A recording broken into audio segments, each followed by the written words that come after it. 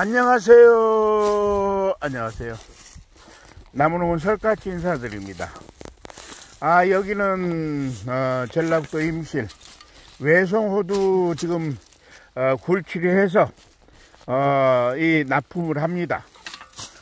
어, 어디에다 납품을 하냐면, 아, 이 재개발 예정 지역, 아, 재개발 예정 지역에 이러한 아, 외송 호두를 심어 놓으면 아, 재개발 지역에 확정이 된다 그러면 어, 상당한 아, 메리트가 있는 아, 보상가가 아, 나옵니다.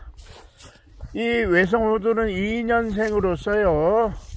지금 저희들 아, 그 재개발 예정지나 아, 또 호두 어, 농사를 아, 짓고자 하는 우리 농민들에게 아, 15,000원에 특별히 판매를 하고 있습니다. 아, 특별히 판매를 어, 하고 있어가지고, 어, 지금 이것도 경기도, 어, 김포, 어, 또 안산, 아, 안성, 어, 이런 지역으로, 아, 이 지금, 어, 택배로, 어, 택배로, 어, 이렇게 발송을 합니다. 아, 지금 이렇게 바로바로 바로, 바로, 어, 아, 캐가지고 어, 뿌리가 이렇게 튼튼하게 잔 뿌리가 있도록 어, 지금 그 서리가 많이 내려가지고요.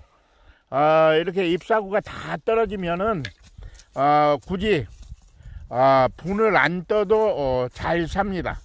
아, 분을 안 떠도 어, 잘 사니까 여러분들 걱정하시지 말고 아, 주문 전화 문의 전화 010 6608 4788로 전화 주시고요.